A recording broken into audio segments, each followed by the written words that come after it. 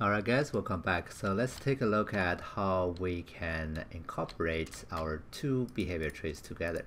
Uh, we have the checking around and he's doing fine. No, he's just checking around, right? Just looking around, but he cannot really do anything when, he, when the AI sees us. It's because there's nothing in the behavior tree guard in the behavior, behavior tree checking around. The checking around is just doing this, right? So I'm going to ask the, the checking around to happen when the the AI reaches to the last notice location, right? So after this move to last notice location, maybe wait for three seconds and then start checking around, right? And then update the last check location. Okay. So what I do here is drag out and say run behavior. Okay. This is not run actually yet another behavior tree, so you can specify like a you know sub branch, and that's gonna be our BT checking around. Okay. So whenever the AI reaches here, it's gonna actually go inside and you can actually double click to go inside. And it's gonna go the, do these right? And then uh, if this is successful then go back and keep doing that okay? All right so now we have this run behavior tree uh, BT checking around incorporated to our BT guard. Let me save this. Now back to my AI now I can tell the AIC guard to actually run the BT guard. Okay compile and save this. All right cool let's go ahead and play. Let me turn on the debugging and hit the 4 button to show the uh, perception. Let me run a little bit.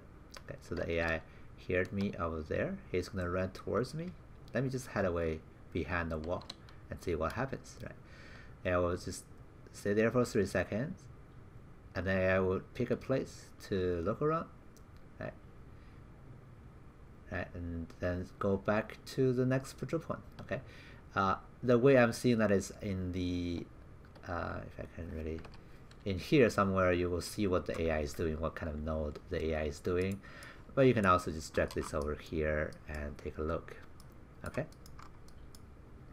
so let's actually do that if that's easier. Okay, go ahead and play. Okay, just hit the turn on the debugging and then the 4 button to show the uh, the perception. Let me run a little bit and then just sneak away behind the wall.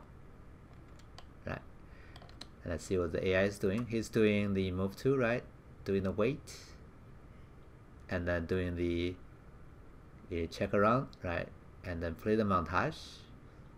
And then go back to patrolling. Okay, everything seems all well and good. Uh, let, let me try something here on the top. Let me run around. So yeah, we'll go towards me here. Let me actually sneak away. Okay, they will wait and then it's gonna do the move to, right? Look around. You can see that we can really see his, him looking around now and he just goes to back to patrolling. Okay, cool. so that's seems to be all working. Okay, um, so here if you wanted to say, okay, I kind of wanted to look one position and then do that again. Let's do the look around twice, right? Check around twice, and that's really really easy to do. You just Control W to duplicate that node and just run it again here, right? Anyway, so just to make the debugging more interesting, I can also go find my player character or yeah, this guy.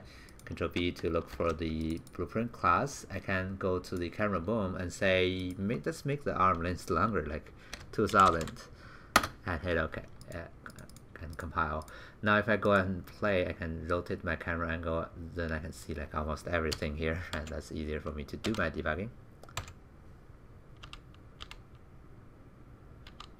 Oh, and I actually have an EQS testing point here. I don't really want that, so let me delete that. Okay. All right, let me do one more play and hit the uh,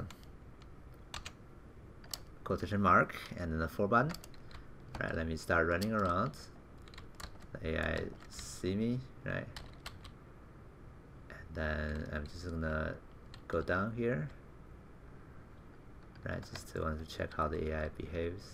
Let me just run away to the corner. Alright. AI stays there. Find a place to look around. Oh, now the AI sees us because he's trying to look actually behind the wall. That's actually one of the the, the, the places I kind of want the AI to check, right? So that's really good actually. We go up here and make some noise. Alright, now let me sneak, sneak away by jumping downwards here.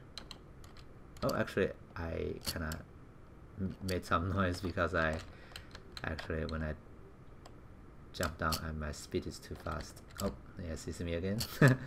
I just want the AI to go actually to the high grounds and look around and see what the AI does.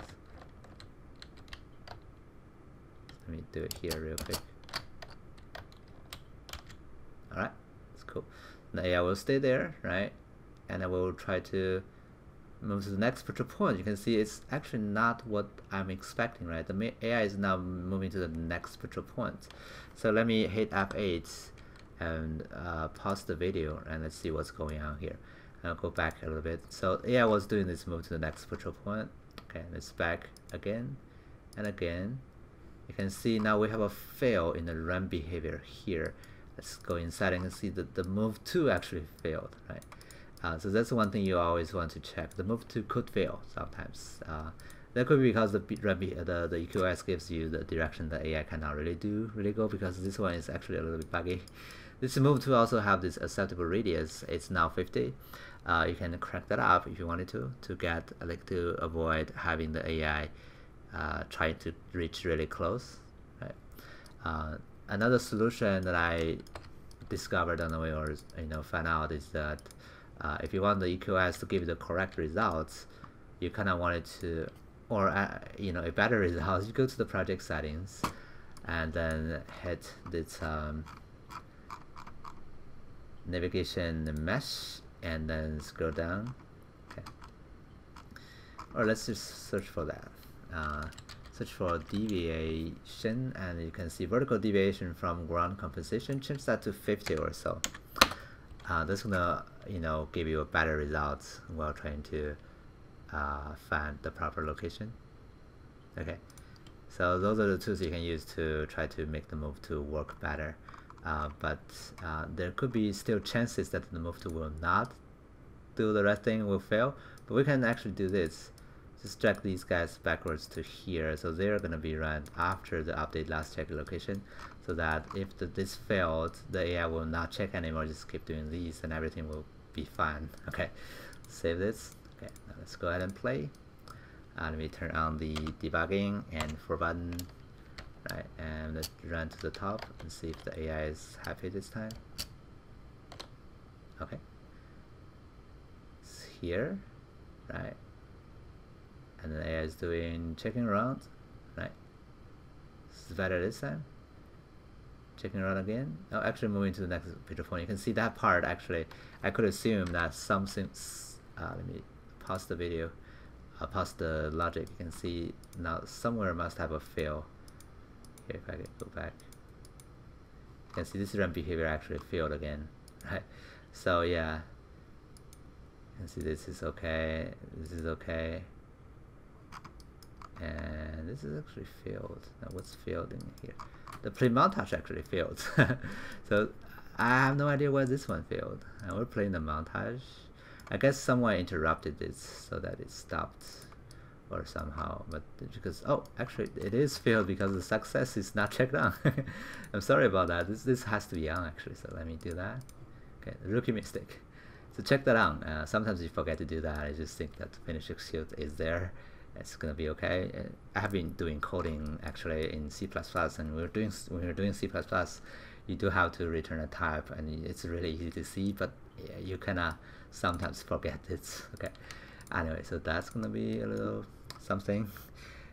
Let me actually let's try that just one more time, right? Uh, here on the top. Let me try to run away real quick. Jump. Alright, so the AI didn't see us yeah we'll try to check around right one time and checking around one more time. Nothing. So go back to patrolling. Okay cool. So now we are incorporating we have incorporated our checking around with our AI behavior tree uh, our original BT guard. Okay I can see it's getting quite a bit of stuff to do now, right? And we can keep building stuff and make the AI more and more interesting. I have some requirement from the comments.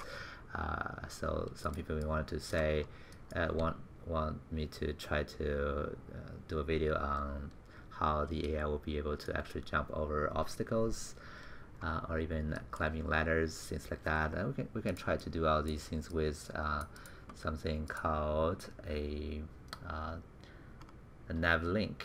It's gonna be somewhere here. So nav link is gonna be something we can do to do a linking. Well, the problem our AI have is the AI doesn't know how to jump down those those edges. It will just go around to go to the lower ground, and that's not very intelligent, right?